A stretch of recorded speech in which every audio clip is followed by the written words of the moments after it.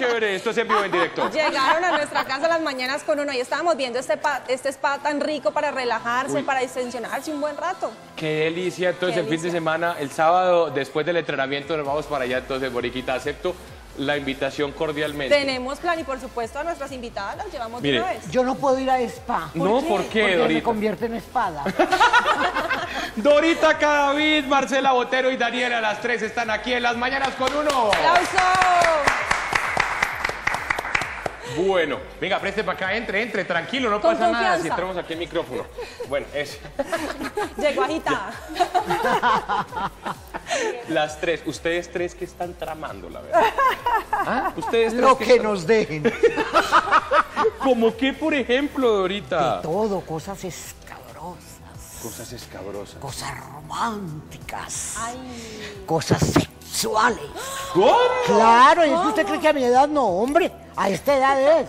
¿Cómo, cómo, cómo va la parte de los novios por internet, Dorita? No sé Ya no- chatear, se me olvidó chatear. Se le olvidó Pero es que a mí chatear. me gusta más personalmente. A ella sí. A ella sí. ¿Cómo era mejor? ¿Por chat o personalmente? Personalmente, Claro, mamita. Es que así Es- no la pueden engañar. no, no solamente no me pueden engañar, sino que no lo puedo disfrutar. Ah, también, por supuesto. Bueno, ustedes, ustedes están aquí porque están preparando una comedia. Hablemos de eso, ¿de qué se trata la comedia? A ver, es que nosotras tenemos en este momento dos proyectos, que, que es una comedia para teatro, Sí. y somos las tres generaciones. La abuelita, la nieta y la mamá, Ok. eh, donde mostramos que cada una tuvo una época, tuvimos nuestra forma de hablar diferente, vestirnos, entonces hablamos de sexo, moda, tecnología. ¡Uy, qué chévere! ¿Cómo le, ¿Cómo le está yendo aquí a mi doña con ese, con ese sistema? Y eso es para teatro y nos presentamos en marzo. En marzo, ¿en dónde se van a presentar? El, 13 de marzo. el 13 de marzo en el Gimnasio Moderno. 13 de marzo en el Gimnasio Moderno. 8 Es- pm. 8 de la noche. ¿Qué ventaja tiene esta comedia? Que la abuelita va a ir y va a decir, esa soy yo. Se van a identificar. Va, las va la, Totalmente. mamá, va la Sos- mamá. la mamá va a decir también, esa soy yo. Yo, Y los pelados, pues ahí están pintados Oiga, con Dani. Los Qué pelados buen- dicen así, son, era mi mamá y mi abuelita. Qué buen plan para la familia, porque va todo el mundo. Sí, sino- porque pueden Sí, todos. Qué chévere. Y el otro proyecto es una comedia para televisión Ok. que eh, la estuvimos trabajando y hicimos un primer capítulo, o sea, hicimos como ya el piloto. Sí. Eh, eh, la estuvimos trabajando con Moiso cuando estaba con nosotras Sí. y, y yo la escribí. Ay, qué bueno. Estupenda. Es una comedia muy rica porque los personajes se puede identificar la gente con ellos, pues son personajes reales de todos los días, que no estamos ni disfrazando gente, Ni ofendiendo gente. Sí, o sea, Oh, son bueno, personajes bueno. cotidianos. Cotidianos Total. de Como por ejemplo, un personaje de Ok, los que están ahí. hay, hay, eh, la, la- la base de la historia son dos peluqueros. Miller y Maxi.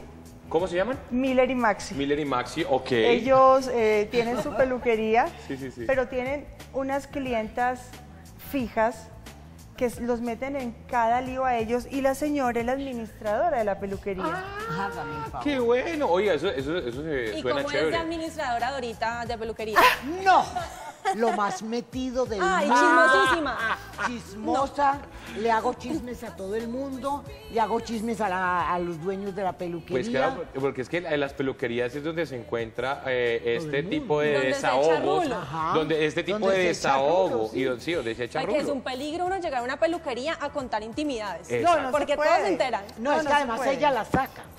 Ah, ahorita las vas a saca a sacar. cada uno su intimidad, claro. Dios mío. Y tenemos un personaje que es el que hace Dani, que es un estudiante de música, Ok. que es un personaje muy lindo porque ella, eh, a pesar de que su tía la sostiene y le colabora porque su mamá está fuera del país, ella todo el tiempo está viendo negocio. Entonces monta aquí negocio con Doña y por debajo de la peluquería tienen otro negocio adicional con Miller. Ay, Entonces ellas dos le cobran a Miller comisión por buscarle el trabajo y claro, eh, Miller trabaja todo el tiempo domicilio. Gratis prácticamente. Bajo Les digo menos. que en la vida real es diferente porque yo la regaño mucho, ¿no es cierto? Da- Danielita, eh, eh, eso íbamos a ver, Daniela, ¿cómo, cómo te va con, con, con eh, la parte tecnológica y Dorita, por ejemplo?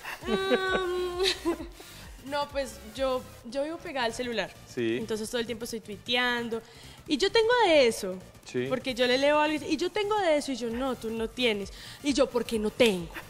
Y es- son cosas así. Yo, pero Dorita tiene. Twitter ya, Facebook. ¿Dorita tiene Twitter o, o no? Eh, no. No ha podido, ¿o No, sí? es que además Escasamente lo prendo, lo apago, lo cargo, contesto y llamo. con el botón verde, nomás. con el botón verde Sí, llama, vea. con el rojo cuelga. Es tan sencillo, Sí, como esto. Cuando hay que mandar un correo electrónico, ella cree que vamos a mandar la carta física y que va a ir alguien a llevarle la carta Sí. al paciente.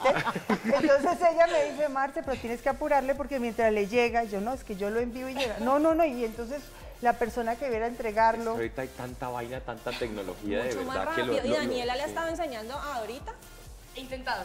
No se ha podido. No. No, yo intento, pero no se puede. No, no, no, es que a mí además me parece una tontería estar hablando sin tener a la gente aquí, aquí conmigo. Es que es cierto, y por, por qué la gente ahora ya no llama, Por- perdón, voy a coger tu celular, porque ahora es, hola, ¿cómo estás? Hombre, llámelo a uno y pregúntele, ¿qué más? ¿Cómo? Escuche la voz. por ejemplo, claro. no lo llaman a uno, sino que por, Por el Facebook, WhatsApp, por Twitter, por donde sea. Feliz cumpleaños. se dice tuiteame, sino toteame. A to- Estamos aquí, regresamos en las mañanas con uno con Dorita Cadavid, con Marcela y con Daniela. O sea, estamos hablando de Dorita, eh, Marcela la nuera y eh, Daniela la nieta.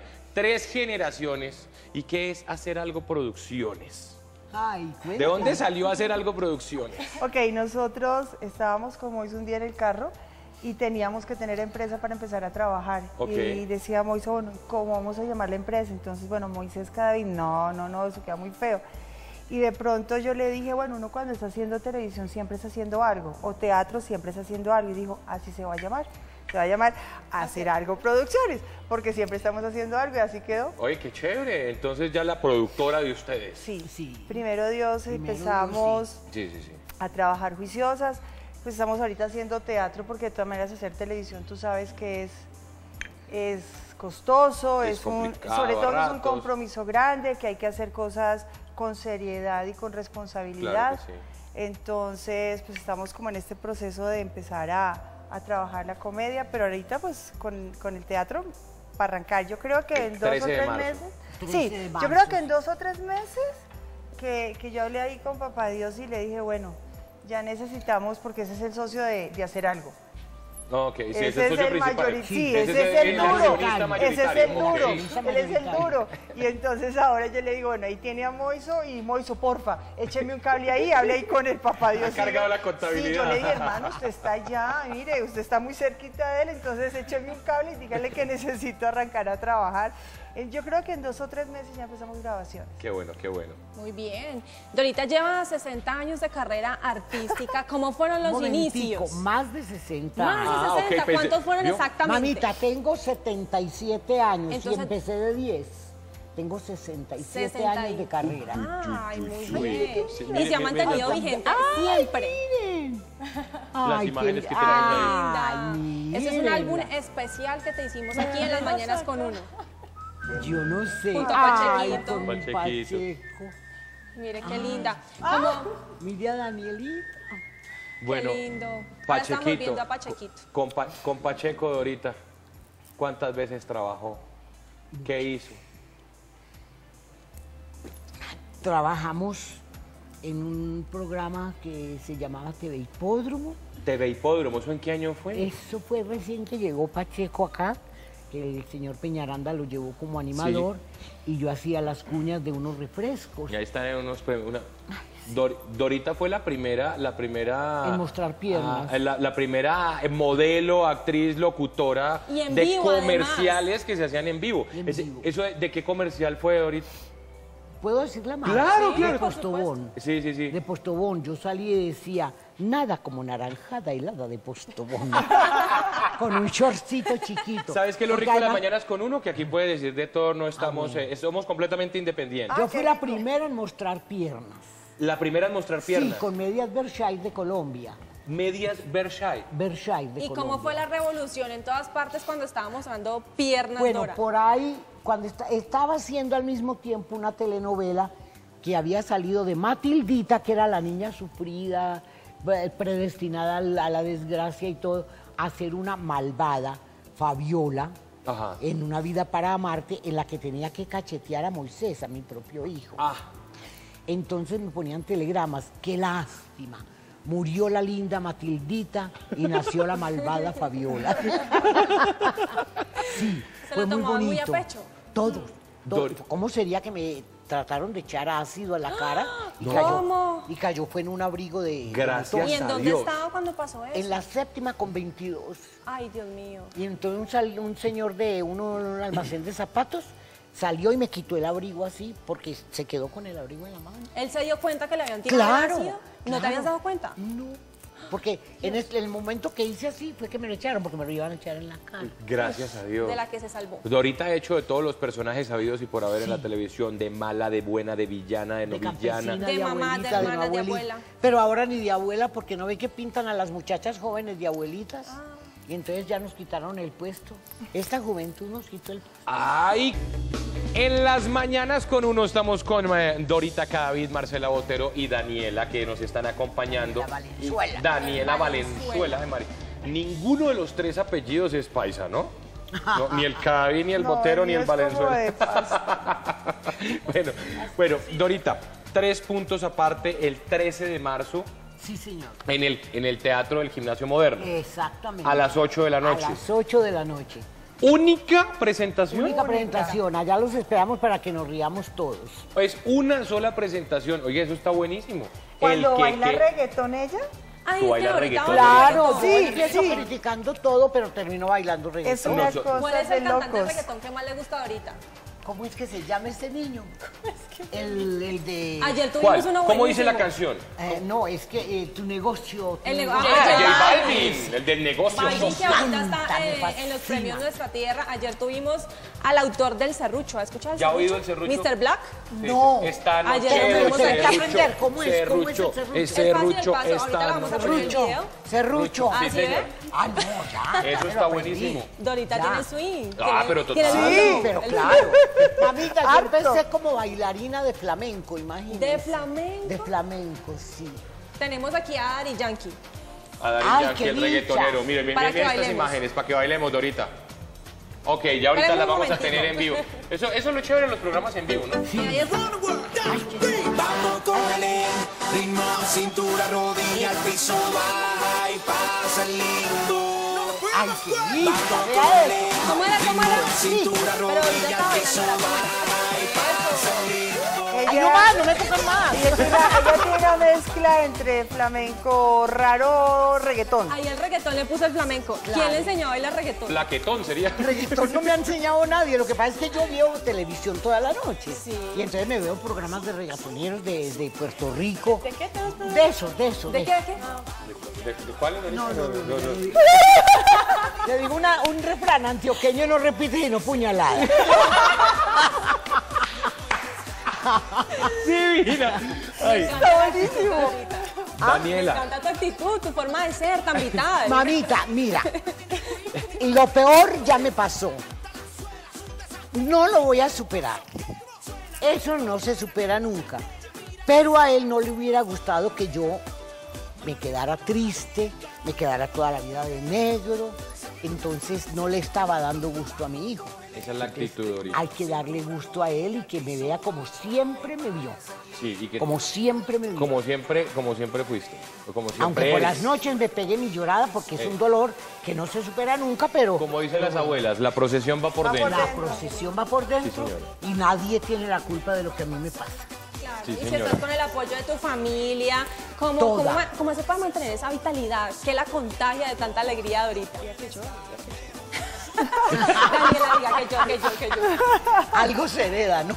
Algo hereda. Claro, claro. No, mira, a mí mis dos hijas, mi nieta y mi hija, porque ella, ella no es mi nuera, es mi hija. Ok. Porque nuera no era, ella No era, sí sí, era. sí era, sí era. Ah, sí, sí era, sí era. Ah, ¿sí ve? Ahí Es está. mi hija, yo nunca hice diferencia entre Moisés y Marcela, Es cierto. Qué jamás. bonito Eran mis dos hijos. Es cierto. Y mi nieta. Entonces, claro, ustedes oyeron como dije mi nieta. Y mi nieta. Bueno, ¿cómo es esa relación con la abuela, Daniela? Cuente, cuente. Se agarran mucho. Cuente la verdad, cuente la verdad. Cuente, cuente. La verdad. Sí, la verdad, la verdad. Ah, listo, la verdad, verdadera. Poquito. Ah. Sí, sí, sí. ¿¿Por ¿Por qué? qué Por- pelean las dos? Es que ella me llama mucho. Ay, está pendiente todo el día. A ver, ¿dónde está Daniela? Ella me llama mucho. Y entonces yo no le contesto porque estoy en clase. Ok. Y me da pereza salirme a contestar. Entonces cuando le vuelvo, ¿por qué no, me contestó? No, la verdad, no es que le haya dado pereza contestarle, No, es que es no se debe contestar en clase, uno está estudiando. Pues se supone, sí, obvio, se No, supone y ve que no que es la abuela y entonces no contesta. Pero ¿sabe para qué están las redes sociales? Pues si no le contesta, entonces por WhatsApp le puede escribir. Pero con Pero qué, si es que- vea. Yo no manejo eso sino para contestar y, y no más. Yo creo que Daniela por eso no le ha enseñado ahorita Claro, a manejar el WhatsApp para que no esté claro. ahí. Si le enseño es que no me deja, no, ¿quién No, pero, estudia? pero mire, mi mamá aprendió, por ejemplo, a, a manejar el WhatsApp y es un hit, porque a veces estamos aquí en el programa, estamos ocupados, de- me manda algún mensajito o alguna cosa que es urgente o algo, yo lo leo y ya, y listo, porque sé que no le Sí. puedo contestar el teléfono o está en una reunión o algo, entonces sería bueno, Daniela, que le enseñe a whatsappear a su abuela. Pero bueno, se le enseña a whatsappear y empieza a llamarme a mí. Mija, es que metí mal el dedo y es- resulta que ese celular está sacando un poco de cosas. Pero si cuando el televisor le mete mal el dedo, me llama a la finca. Marce, ese televisor se quedó quieto, no se mueve. Pero es que entre las Algo dos le de metiste acuerdo. mal el dedo, ¿no? Entre las dos. Sí, porque es que ella la llama a ella a preguntarle qué hace para arreglarlo y ella me llama a mí a preguntarme cómo lo arreglo a ella. O sea, eso es una cadena. Sí. O sea, yo finalmente soy la que arregla todo.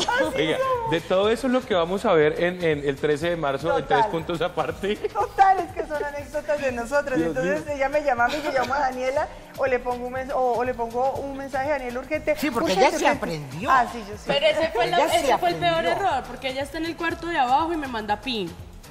Yo estoy en el de arriba y me manda el pin. O me llama el celular. O sea, ya, ya no es con grito como se No, hacía en una ¿sabe que época. eso pasa también en mi casa. Mi hermano está en el cuarto de al lado, yo estoy en el de al lado y él no va a tocarme la puerta, sino que por WhatsApp me escribe. Oiga, ¿qué Moni? ¿me prestas un lapicero? No, pero yo sí Moni". tengo una justificación súper, es que Daniela vive con, Con los audífonos. con audífonos. Aislada del mundo todo el Entonces, tiempo. si yo grito, Daniela, No, termina puede pasar media hora y la niña no sabe que yo la... Escuchando esa música ahí toda... no, horrible, no, no, horrible. Entonces ya la solucioné, la pineo, yo te necesito. México me pasó una anécdota. Con el teléfono en la mano, entonces no hay excusa de que diga, no, es que no Y escuché, yo como no sé vi". que siempre tiene el teléfono en la mano. ¿Qué le pasó en México En ahorita? México, pues no existía todavía cuando estuve en México, ni celulares, ni nada de eso. Sí.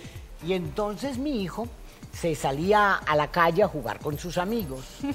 Sí. Y entonces una vez se me perdieron, una, se me embolataron unas tablas que yo necesitaba para la cocina. Y entonces salí por la ventana, ¡Moisés! Ajá. ¿Dónde están las tablas? Desde el Y balcón. me contestó una señora, en el Antiguo Testamento.